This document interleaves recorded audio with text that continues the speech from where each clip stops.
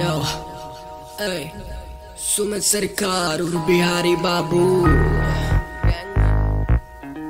बोला मैं सुमितवा नहीं बोला था